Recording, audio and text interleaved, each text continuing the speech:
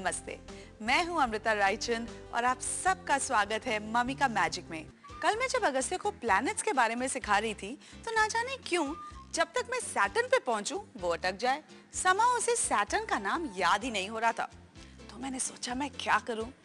Then I realise कि क्यों ना कुछ मस्ती की जाए, कुछ मैजिक किया जाए और उसे ये वर्ड सिखाया जाए। इसी से इंस्पिरेशन ली मैंने अपनी अगली रेसिपी की, जिसका नाम है Saturn eggs let's make it सबसे पहले आप लीजिए एक ब्रेड स्लाइस और उसे एक कुकी कटर के हेल्प से डोनट की शेप में काट लीजिए। सो so, एक राउंड लीजिए एक बड़ा सर्कल लीजिए और एक छोटा। एंड इसे इस तरह से हम काट लेंगे। अच्छे से दबाइए और जो इसके साइड्स हैं ये निकाल लीजिए।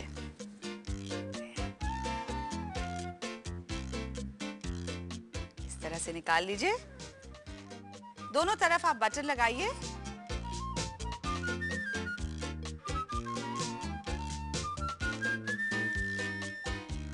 इसी तरह से आप दूसरे साइड में भी बटर लगाइए।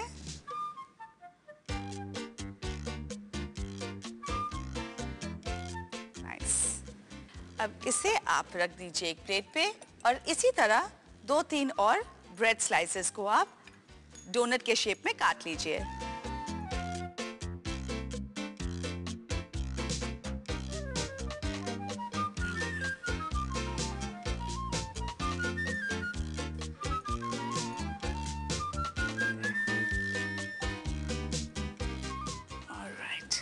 इसमें भी आप बटर लगाइए।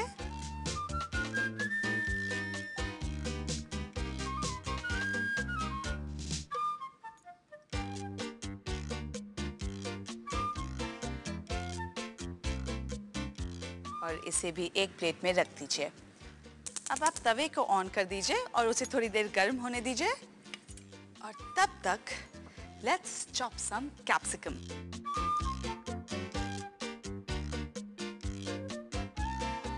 मैं यूजली ट्राई करती हूँ जितने ज़्यादा कलर्स यूज़ कर सकती, किसी भी डिश में ट्राई करती हूँ कि यूज़ कर लूँ। अब इसे आप पतले पतले इसके जूलियंस काट के इसे बारीकी से हम चॉप कर लेंगे।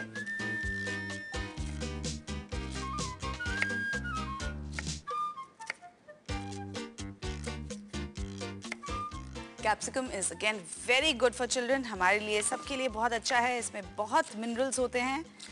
एंड आप ये सैलड्स में यूज़ कर सकते हैं और खाने में भी यूज़ कर सकते हैं। अब इन चॉप्ड कलरफुल कैप्सिकम को हम एक बोल में निकाल लेते हैं।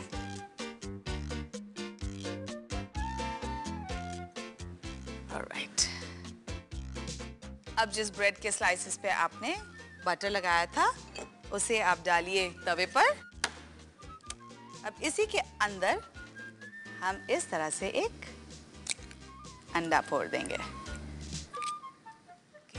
अब ये चॉप कैप्सिकम को आप सर्कल के अराउंड इसे डाल दीजिए। अब आप साइड से जो एक्स्ट्रा वाइट बाहर आ गया है, उसे स्क्रेप करके निकाल दीजिए because we'll want them to look like Saturn eggs अब एक प्लेट में आप इस तरह से इसे निकाल लीजिए। अब आप जितने चाहें उतने सैटन एग्स बना लीजिए और अपने मनपसंद तरीके, मनपसंद सॉस जैम बटर के साथ सर्व कीजिए।